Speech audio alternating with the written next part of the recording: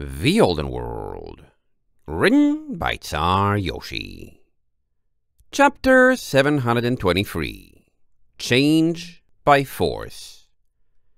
That is quite the story, Felicity replied as everyone finished, ears folding and perking again as she thought.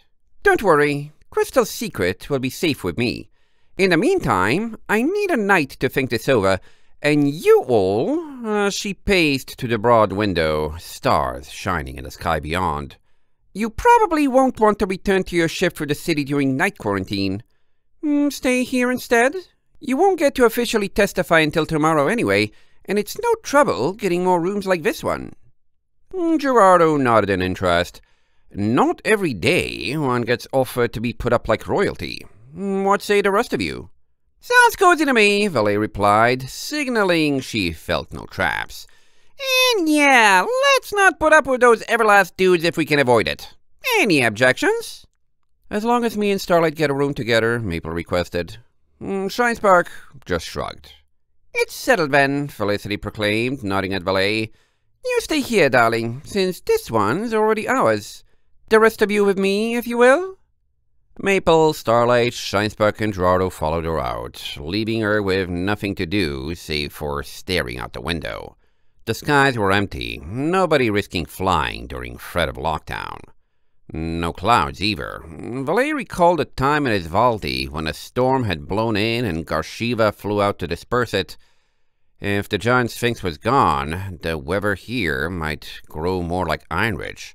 She fully expected to awaken one morning to a rainstorm and have it last for days. She sat, resting sideways against the glass, its faint chill feeling good to her burned, healing back. Looking at this angle, she could see more of the mainland, glowing with orange lights she more associated with lanterns than mana power. And was that the immortal dream? Far off to the side, gently cruising, its harmonic comet shimmering, the ship seemed to be beating a lazy circle around the island, with no destination in mind. Maybe her friends had decided to have a pleasure cruise in their absence. Yeah, she certainly wouldn't blame them. It was a nice ship, and they had plenty of fuel thanks to Amber, so why not use it? Ahem! Felicity's voice cleared her throat at the door. I've returned, darling. Valet's ears perked. Oh, you're back? Up, Come in! Felicity rose out of the shadows, not bothering to mess with the lock, and paced over to join her at the window, a box resting on her back that she quickly set aside. So, what's that? Valet nodded at the box. A gift from Gazelle, Felicity replied. He called it advance payment. I have a feeling you could use what's inside. Bananas, he's fast, Valet mumbled, climbing to her hooves and trotting quickly to the table.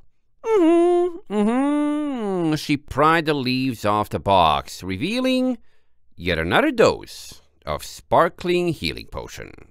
So, how much of this do I need? Now that I know this stuff is rare. Felicity paced up beside her. Honestly, darling, it's not the biggest jar, and your wounds are, well, better being safe than sorry. Neat. Valet frowned at it for a moment, then lifted the jar and drank before settling into wait. Feeling a little less like my skin is two sizes too small. How does it look? Felicity examined her back with a clinical stare. Well, it helped. Significantly, I might add. You look less like you were caught in a death bomb, at least, though your fur is still rather uneven and a little discolored. It'll take some serious cosmetics before you look like nothing happened. Valet's ears fell in relief. Nothing permanent, then? I'd strongly advise not doing that again. Felicity tapped her wingtips down along Valet's spine, searching for sensitive spots. And while these potions are designed to get soldiers back into the fray, I'd also advise not fighting for a while if you can help it. Though the tournament I don't know about the tournament, Valet admitted. I might be bowing out. Some of my friends are not cool with me being there anymore, and there might not be a point. But, um, I'm thinking about it. I see, Felicity folded her ears. Understandable. You probably have your hooves very full, between Crystal and everything else? Valet nodded. Yeah, Crystal's... Uh, her face grew serious. We're really trusting you, you know? Since you work for the Night Mother and all.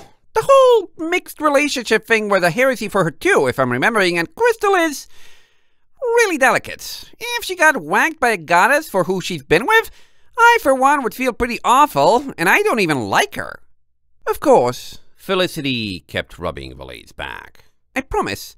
That said, I would dearly like to meet her. You probably don't know as much about taking care of someone like this as you ought to, and I could help. You think? Valet raised an eyebrow. She's kinda touchy, and I mean that in both senses of the word. Her wings twitched slightly. What are you doing, by the way? Felicity dodged the question. Well, fortunately, I can be stubborn too.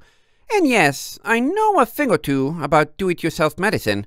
Hard not to, when it's a matter of staying alive in a place like Jaya. Sweet! That makes you and Harshwater. Valet stared out the window. I've got your work cut out for you, but if the two of you want to bully her into a checkup, maybe tomorrow after we do whatever with Stormhoof? Her wings twitched harder, and she tried to turn her head. Also, just saying, but whatever you're doing to my back is kinda making me feel a certain way here. Oh, is it now? Felicity lidded her eyes, then stepped back and resumed a neutral expression. This is reminding me of a conversation of free we agreed to postpone in Mistvale.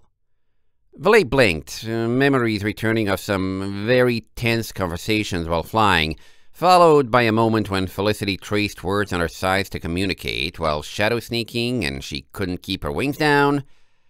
And her eyes slowly traced the room's opulence, its lush bed and pristine skyline. Yeah, something's telling me you're not remembering just this instant. Felicity gave a guilty smile. You've got me there, darling. Think you've got a moment to indulge this old Mervo? Nothing too far. I just want to talk. You know what? Valet shrugged. Bananas, sure. You've been cool enough to me. Let's chat. Uh, I... Uh, Felicity fidgeted. Oh my, this is awkward, now that I have to say it. I fear I'm going to blush. But I noticed at the time you had some issues involving physical contact. Yep, Valet leaned back. I'm horny and you're hot. Congratulations! My reputation from Ironridge has gone back from being an open secret to being part of my name. Felicity's smile returned. Hello there, Issues. I'm Felicity. You talk about this like it's a problem. You want to tell me it isn't? Valet gave her a serious look. Look, in Ironridge, alienating everyone I could was the name of the game. Someone dislikes me enough to either avoid me or come get me, that makes it easy to push them around.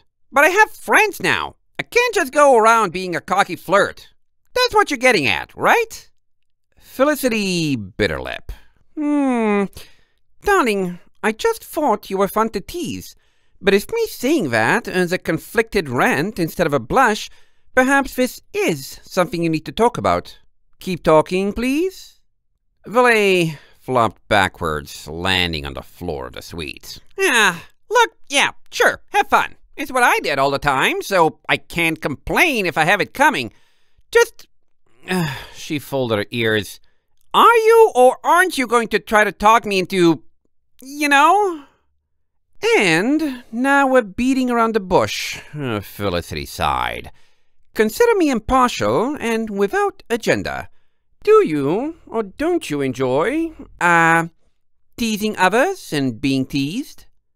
Valet squeezed her eyes shut. Look, I used to be a big militia boss who annoyed my minions endlessly by threatening to flirt with their mare friends and wives and thought it was hilarious to go through with it. The other captain dude fired every mare in the defense force just to annoy me. Go ahead and tell me that's a cool way to treat my real friends now that I have them. That sounds entirely up to your friends, Felicity remarked. You've told me they took a day or free to win you over. Were you ever like this to them while they were still trying? I mean, uh, Valet rolled her shoulders and thought, Flanks? No, she's kinda just not my type. I bothered her with this nickname, though. Bananas. It used to tick her off. And I'm pretty sure I've made Shinespark really red before. Mm-hmm. Excellent, Felicity agreed, bobbing her head. And how do they feel about that behavior now? You still call her Ironflanks, no? Well, yeah, but... Villy winced. I mean, I guess she got used to it. Pretty sure I haven't annoyed Sparky since Riverfall. Felicity exhaled. From my preliminary understanding of things, it sounds as though your friends became your friends in light of your habits and indulgences. And that didn't stop them. I still feel like you're asking me to do something, Valet warned. And bananas, no. Look, do you have any idea how many mayors in that ship like me? She waved a wing at the passing dream. Sparky outright said she had a crush on me. Harshwater has kissed me twice, I forget. Amber and I hung out and got all snuggly in Riverfall, and don't tell me you're not interested too.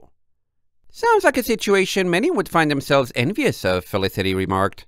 And yes, I find you very cute and think you have a fascinating mind and personality. You could say I enjoyed making you red in that Mistvale Valley a little too much. So, what's stopping you from making the most of a good situation? It's complicated. Valet looked away. The Empire's heresy laws, for one. Felicity smirked. Now that's an excuse, darling. You're already harboring one mare with an unholy child in a womb. You've met the Night Mother as well, and she has a vested interest in you. If you made eyes at a mare from time to time, I think you could slip it past a gaze. Neat. Valet kept her gaze averted, the window suddenly very interesting. Felicity slowly curled her lip in concern. Valet, what's wrong? Valet's tail lashed. Look, I'm just not interested. If you're trying, like, bananas. She dropped her head. You want to know what's wrong? I'm wrong, and I know what I've got to do to be better, and I'm doing it, okay?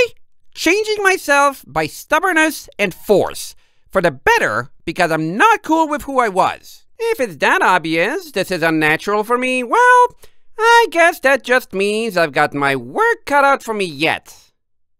Felicity sighed a long, low sigh. You and I are definitely not done with this conversation yet. End of chapter 723.